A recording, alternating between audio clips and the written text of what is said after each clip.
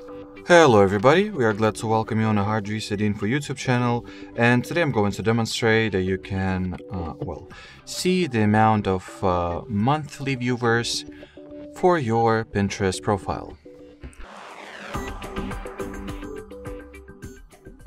So to begin with, it is worth mentioning that in order for you to have such opportunity, you will have to transform or will convert rather your personal uh, Pinterest profile into a business account, uh, which you can do uh, well by or learn by watching a separate video that we have on our channel regarding this topic.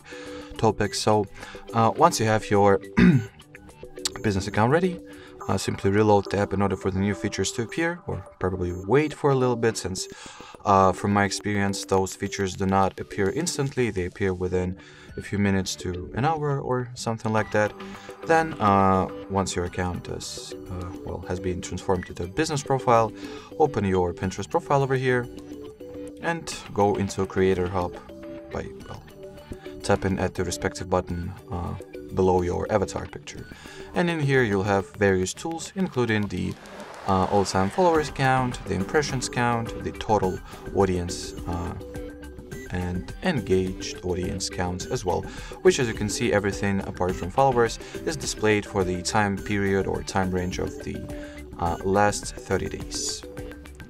In here you can see more, probably apply some filters as well in order to see some uh, more in order to see more precise analytics and statistics for your Pinterest profile. And I guess that would be it. So thanks for watching, thanks for your attention, and bye bye.